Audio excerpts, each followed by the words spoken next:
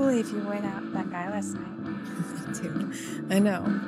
But he was so gorgeous. He was a total asshole. I'm not gonna date him, don't worry.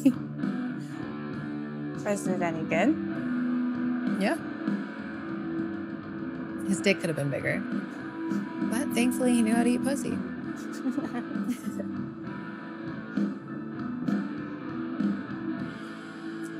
so, are you gonna tell me what happened with Lars?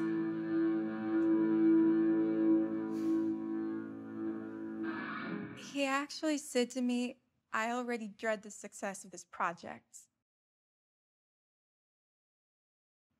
Two weeks before the biggest show of my life, and he quit on me.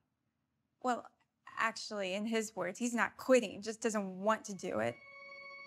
He knows I can't afford to find someone else at this point. I mean, he guilted me into hiring him in the first place because the idea is he would give anyone else threatened him.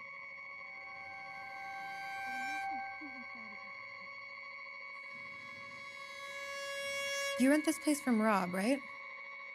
Are you listening to me? I'm sorry. I've told you a million times fuck him.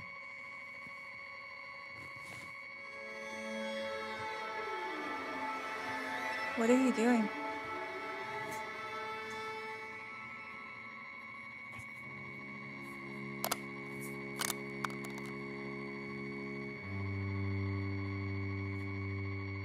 Dude.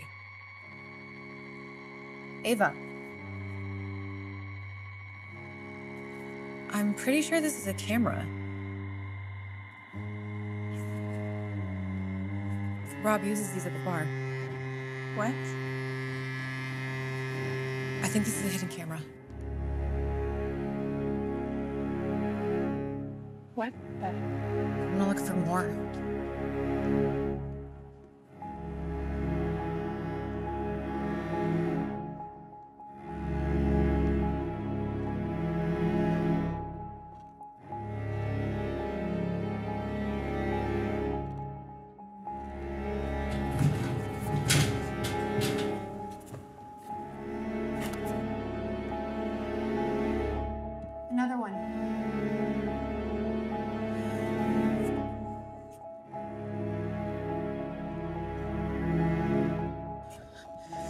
These been here since you moved in?